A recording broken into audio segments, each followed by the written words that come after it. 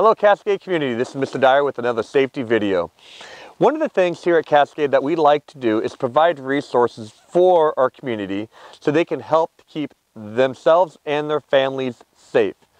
We have an opportunity to partner with the Liberty House and where in which the Liberty House is creating an online Zoom meeting where parents can ask questions about internet safety um, for their kids.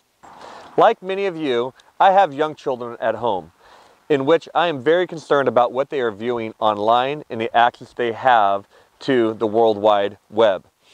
At the Liberty House, this meeting will be covering situations such as social media safety, also apps to look out for, as well as cyberbullying. Now, they will also leave some time for parents to ask questions or list any concerns, and the Liberty House can walk you through those as well. The dates for this will be on November 2nd and November 3rd. One will be in English on the 2nd and the other one will be in Spanish on November 3rd. The links are listed below.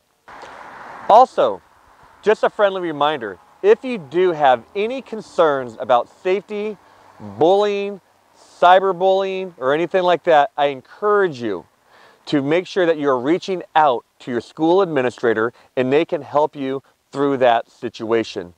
If for some reason you you're not feeling comfortable in calling the school administrator, there is the Safe Oregon hotline, and that's where you can report any cyberbullying, bullying, or just safety concerns as well. The link, again, is listed below. That is it for right now, Cascade. Again, thank you for all you do, and I can't wait to see you around, and have a safe day, and see you later.